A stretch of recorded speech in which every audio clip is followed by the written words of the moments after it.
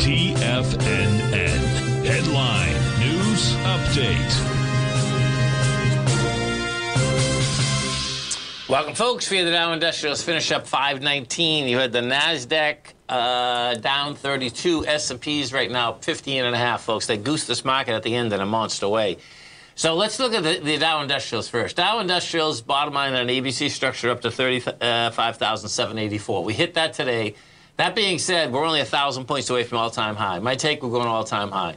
It, just it's not going to. Well, particularly because what you also have, you have Microsoft in an ABC structure up also, folks, and Microsoft to 412, and right now you're only at uh, 378. So Microsoft rejected 375 today or 378.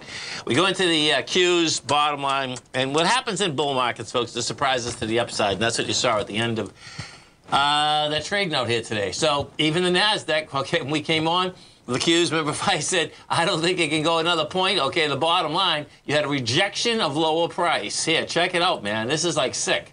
You got, it went right to the strength, okay?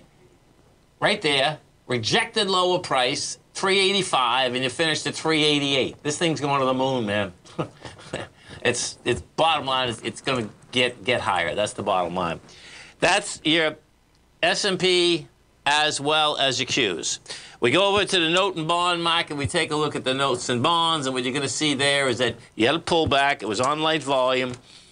And I suspect they still, well, my take is we still want higher price. You're going into 3 million contracts, you've done 2.5. We're down 13 ticks.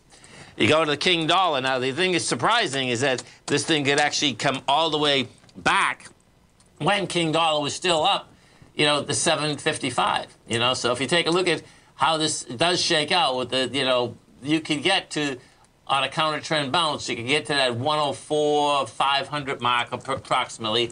That's a 0.382 retracement. Now, what that also is, is where the big downdraft was. You know, if you, if you go to the GDX, if you go to any of the goals, folks, if you haven't got the gold report yet, go over, check it out, man. This thing, the run's on, man, in a monster way, too. The GDX rejected $30.86 today. You're at 31.30. 33, you broke the consolidation. You broke it. Look at the size of that volume out there, man. It was monster. We are up and away, folks. Have a great night, folks. Have a safe night. Come back and visit Tommy tomorrow morning. Kicks us off 9 a.m. Great show, folks. Go get them, folks.